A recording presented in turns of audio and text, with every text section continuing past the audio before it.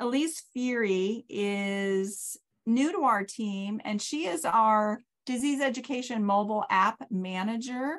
And she actually wants to share with you more about our disease application app, why we built it, what it's going to do, what the benefits are, how it can help you, and how to easily download it.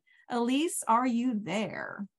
Yes, I am. Thank you. Uh, yes, so I wanted to quickly talk about the EBCI app. Absolutely, everyone on this call can benefit from it. Uh, this is going to be EBCI's bank of knowledge and resources that you can utilize. It has clinical trials, patient and caregiver resources, research, events such as this one. And it's really the best way to get live updates straight from EBCI. So you have the most current information. Uh, and so the installation process is really easy, and I'm going to walk you through that now. So you can either uh, grab your cell phone and scan that QR code on the screen right now, or I am also going to share the link in chat. And once you go to that link, you're going to go to this page.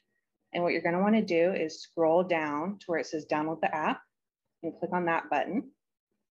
And that's going to lead you to this screen where we're just going to ask you a couple questions, get a little information about you.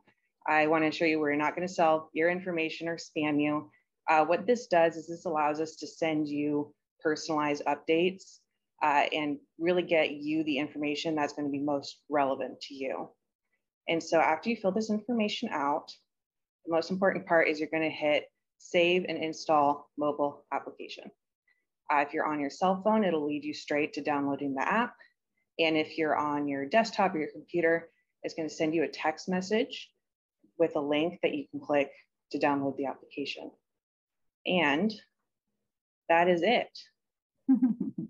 That's it. It's easy. And it's also important to click I'm not a robot either. But um